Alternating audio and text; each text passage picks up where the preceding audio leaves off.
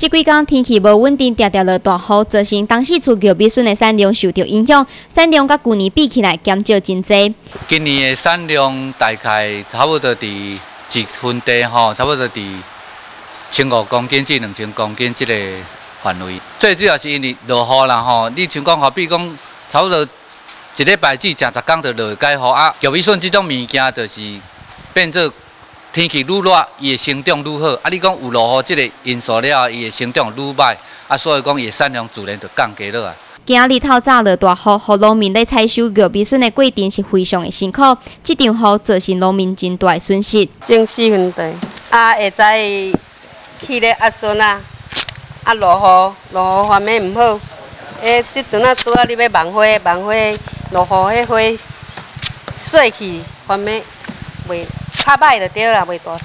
这间玉米笋因为受到雨水危害，市场供应量不足，介绍也得咧受到影响。今年就是间接性的这个落雨，所以讲影响这个玉米的生长，啊，往往伊的产量就降低了啊。进前的介绍，你讲玉米笋吼，差不多差吼，是讲十外块一公斤，差十外块呢。啊，今年伫差不多两三礼拜前，最高也有四十几块，甚至到五十块。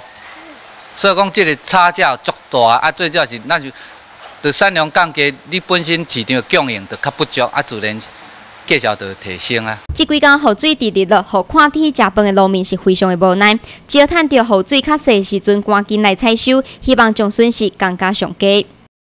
记者吴香品采访报道。